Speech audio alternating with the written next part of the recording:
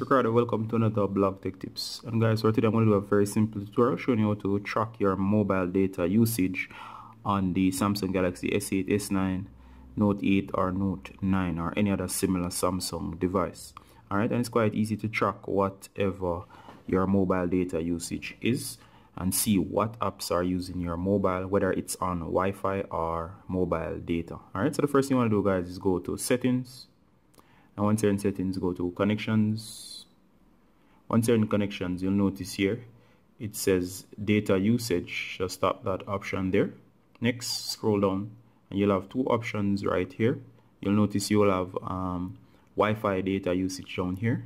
If I tap on that you can see your Wi-Fi data usage and it goes through and tells you the overall usage along with which apps are basically using the greatest amount of data and it goes straight through all right?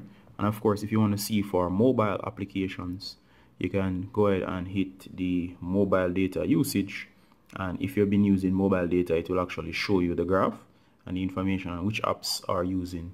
The most amount of data or the exact quantity of data they are using. It's also a great way to track down which apps is sapping your data especially if you're not using that app. It might be a probably some app that you may want to uninstall or just watch carefully. Alright guys so as you got it from blog tech tips showing you how to check your data usage on the samsung galaxy s8 s9 and so on. Alright guys we got the same. Bye. Until next time. Bye